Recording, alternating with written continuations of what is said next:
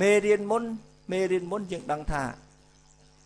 យើងបានរៀនរូបមន្ត derivative ខ្លះខ្លះហើយដូចជាឧទាហរណ៍ឧទាហរណ៍ x ស្វ័យគុណ4ដឹងទេ x ស្វ័យគុណ4ចង់រក derivative វាណែ derivative វាច្បាស់ជាយើងដឹងហើយយើងប្រើរូបមន្តស្វ័យគុណ4 4អី 4x x គីបណាយើងសេអញ្ចឹងអនុគមនេះបើមានអនុគមអញ្ចឹងយើងអាចរក derivative នេះបាន ហើយគេសួរថាបើសិន derivative នេះ derivative ត្រូវកោមាន sin sin x ឃើញទេ derivative sin x អនុគម sin x នេះ derivative វាជាងចេះរហូតទៀតស្មើនឹងអីស្មើនឹង cos x ឃើញទេយើងស្រែកបំភ្លឺអីហើយស្គាល់ហើយចាំរូបមន្តណាចឹងអនុគមមួយមួយចឹងអនុគមមួយមួយចឹងគេសួរមកគេមានអនុគមមួយមួយចឹងយើងរក derivative ចឹង អនុគមមួយមួយចឹងយើងរក derivative ចឹងប៉ុន្តែបញ្ហាត្រង់ថានៅពេលដែលអនុគម f របស់យើងនេះវាមិនមែនស្មើ x 4ទេវាមាន x 4បូក sin x មាន2តួអញ្ចឹងមាន2តួអញ្ចឹងតើយើងគណនា derivative យ៉ាងដូចម្ដេចនេះជាអនុគមផលបូកហ្នឹងផលបូកហ្នឹងចឹងយើងរោ derivative រោយ៉ាងដូចម្ដេចបើមួយមួយយើងដឹងហ่ะមួយមួយយើងដឹងបើមួយមួយដឹង តែបើផលបូកហ្នឹង derivative យ៉ាងដូចម្ដេចអញ្ចឹងគេថាអត់ពិបាកទេគេថាគេថាបើសិនជាមានអនុអនុគមយើងជាផលបូកផលបូកនេះផលបូកអញ្ចឹងគេថា derivative វាដូចតែគ្នាបូកដែរបើថាអ៊ុយបូក v derivative វាអ៊ុយព្រីមបូក v ព្រីមគេថាអញ្ចឹងតែយើងជឿអត់យើងជឿអត់ឥឡូវយើងស្រ័យបញ្ជាក់ស្រ័យបញ្ជាក់ ដើម្បីស្រ័យបញ្ជាក់គឺគ្មានអីក្រៅពីបកកើតអីបកកើត delta f លើ delta x អត្រាកំណើនដើម្បីបតាដើម្បីបង្កើតអត្រាកំណើនខ្ញុំធ្វើពី f អី f អង f អងគឺអ៊ុយបូក v f ដឺស្មើប៉ុន្មាន f ដឺខ្ញុំឲ្យ f ដឺខ្ញុំឲ្យនេះ delta អ៊ុយកើបន្តិចទៅនេះអ៊ុយកើបន្តិច v កើបន្តិចអានេះអានេះជា f អងឥឡូវនេះជាកំណើនរបស់វាអញ្ចឹង delta delta f delta x ស្មើស្មើអីនេះយកអានេះយក f ដឺនេះដក f អងឃើញទេដកដកទៅអស់នេះនៅសល់អីនៅសល់ delta អ៊ុយបូក delta v ចែក delta x អញ្ចឹងនេះខ្ញុំតទៀតខ្ញុំទៅអញ្ចឹងខ្ញុំទៅអញ្ចឹងខ្ញុំទៅអញ្ចឹងហើយខ្ញុំរោ limit នេះ limit នេះ limit នេះ delta x ស្មើ limit អីស្មើ limit អានេះ ឃើញទេអញ្ចឹងមកដល់នេះមកដល់នេះស្អីទៅស្អីទៅយើងទៅយល់ដែរកាលណា delta x ខិតរ0 delta x នេះស្អី delta x ចង់និយាយថា delta x នេះ delta x នេះគ្មានអីក្រៅពី delta x និយាយមែនទេនេះគឺគឺហាស់នឹងឯង delta x គឺហាស់នឹងឯងព្រោះមិនក៏ថា delta x មកពីធម្មតាអនុគមរបស់យើងវាប្រែប្រួលពីណាតែវាប្រែប្រួលពីពីដំបូង x x វាទៅអីវាកើនពី x បូកហាស់ x បូកហាស់ x បូកហាស់អញ្ចឹង delta x គឺ x បូកហាស់ដក x នៅសល់ហាស់អញ្ចឹងកាលណាហាស់ខិតទៅ0 delta x ពេលខ្លះគេថាប្រើហាស់ខិតទៅ0ក៏បានពេលខ្លះគេប្រើ delta x ខិតទៅ0ក៏បានដូចតែគ្នាទេដូចតែគ្នាទេអញ្ចឹងយើងបានរៀនហើយថាម៉េចថាម៉េច ថាកាលណា delta អីកាលណា delta f លើ delta x ណាណា limit នេះ limit នេះ limit នេះ limit នេះកាលណាហាខិតរោអីកាលណាហាខិតរោ0ណែអានឹងស្មើអីនេះ f ជាអនុគមនៃ x អញ្ចឹងវាស្មើអនុគមស្មើនឹង f f prime ណែយើងបាននិយមន័យរបស់យើងកាលណា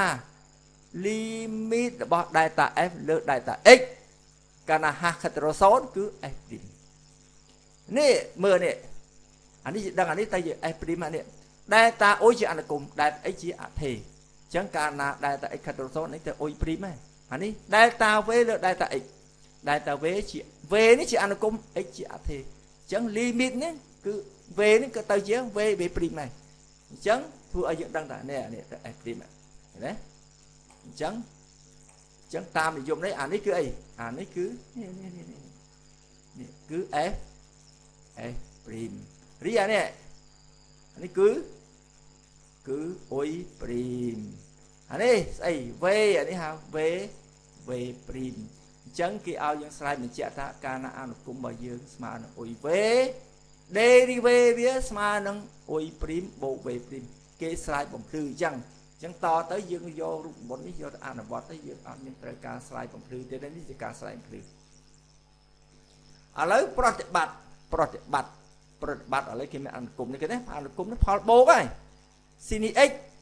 មួយទៅបូក cos x មួយទៅ sin x derivative វាអនុគមផលបូកស្មើនឹងផលបូក derivative អញ្ចឹងអ៊ុយអានេះយើងថាអ៊ុយហើយអានេះ v ហើយអញ្ចឹង derivative វា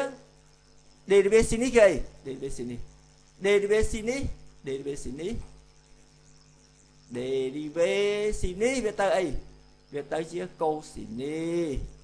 derivative cos វាទៅជាដក sin នេះអញ្ចឹង derivative វាទៅអញ្ចឹងណាងាយទេចង់រក derivative នៃអនុគមផលបូកគឺយើងយកផលបូក derivative មកមិនក៏មិនក៏មិនបូកទៅដោះមកពី derivative នេះគឺ យើងយើងបូកដូចគ្នាអញ្ចឹងទៅយើងធ្វើលុបមុនអញ្ចឹងឥឡូវយើងមើលមួយទៀតឥឡូវយើងមានអនុគមមួយទៀតសំទោសអនុគមនេះអនុគមនេះគឺអីគេឲ្យអត់មានទេនេះសញ្ញាអត់មានទេគេអនុគមនេះគឺ 2x គីបដក x ការ៉េដក5ណាមាន3តួនេះ3តួគេមាន3តួគេមាន3តួគេមាន3តួតើតើ derivative ស្មើប្រមាណ3តួអញ្ចឹង derivative វាក៏3តួដែរ derivative យ៉ាងម៉េច derivative វាចាំមើលណា derivative វាអានេះ 2x គីបអានេះអានេះ3យកមកនេះ3គុណ2 6 x គីបនៅ x ការ៉េណាថយថយមកមកស្វ័យគុណស្វ័យគុណវាថយ3ដក1អញ្ចឹង2មកនេះដក2 x ការ៉េនៅសល់ x ដកប្រាំអនុគមទេអនុគមទេ derivative វា0ណា derivative 0 derivative វា0ឥឡូវមកអនុគមនេះអនុគមមាន2តួទៀតហ៎មាន2តួទៀតហ៎មាន2តួអញ្ចឹងចង់រក derivative វានេះអនុគមតួទី1នេះតួទី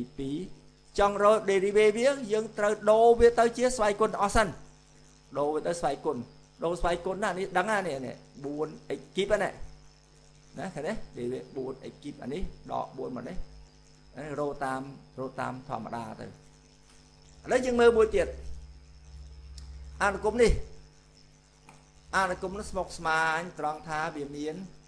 x បូក1ស្វ័យគុណការ៉េវាមិនមែនតែស្វ័យគុណវាមាន x បូក1អញ្ចឹងចង់រោ derivative នេះពលាតវាទៅពលាតទៅពលាតវា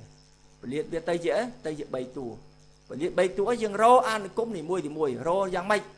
រោយ៉ាងម៉េចនេះអនុគមនេះ derivative វាគឺ 2x ហើយ 2x ហើយ derivative នេះគឺ2 derivative នេះគឺ0ពួកអនុគមទេ derivative វា0អញ្ចឹងនៅសល់ 2x បូក2នេះគឺរបៀបរោ derivative ពេលដែលយើងស្គាល់ពេលដែលយើងស្គាល់